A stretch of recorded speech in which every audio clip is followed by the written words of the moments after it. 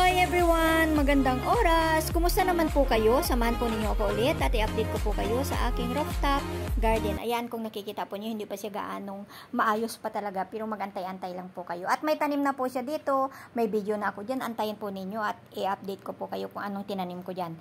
So, ikwento ko lang sa inyo ito, ang aking mustasa ay nabuhay siya, ba? Diba? Nabuhay siya, hindi kagaya ng aking pitsay. So, pwede ko na siyang i-replanting.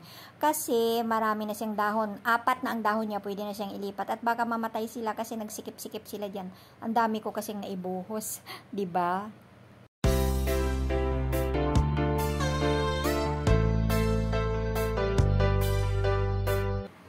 Dito ko po siya ililipat. Ayan. Nakahanda na po talaga. Ready na po yan talaga. Inaantay ko na lang talaga na uh, pwede na siyang ililipat. Kaya ito, butasan muna natin ng lupa para tuloy-tuloy lang po ang pagtatanim mamaya. So, abangan po ninyo.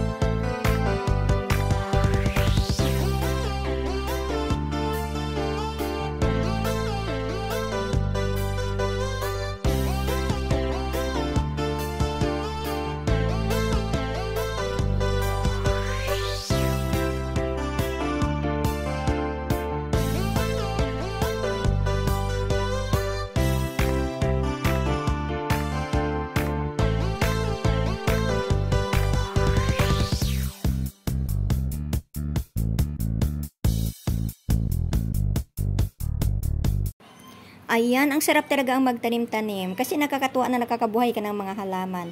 At the same time, nakakalibre pa po ako. Sa umaga, pagising ko ay sinisilip ko na yan sila at ako ay napapangiti na. At alam din po ba ninyo na maraming benefits itong mustasa? Oh, may video po ako dyan tungkol sa mga benefits ng mga something-something. Kaya wag ho kayong magsawa sa pagsubaybay sa akin dahil marami po kayong mapapanood ng mga videos ko dyan. At tungkol dito sa aking rooftop, lagi ko po kayong i-update at para masubaybayan din po ninyo kung ano nangyayari sa aking mga halaman. So ito tapos na siya. Abangan na lang po natin hanggang sa paglaki niya para maipapakita ko rin sa inyo. Ayun. So lalagyan ko po siya ng ganito para kasi hindi siya mamatay dahil bago siyang tanim, front po kasi siya sa init dito sa rooftop, siyadong mainit. Pagkahapon, tinatanggal ko rin naman yan. So, kapag bago pa lang po kayo dito sa aking channel, please like and subscribe and click the notification bell para sa susunod may bago po akong upload, ay manotify po kayo dahil hindi lang naman itong rooftop ang aking content. Marami pa akong mga videos dyan. Kaya, panoorin po ninyo. Maraming salamat. Hanggang sa susunod. Bye-bye.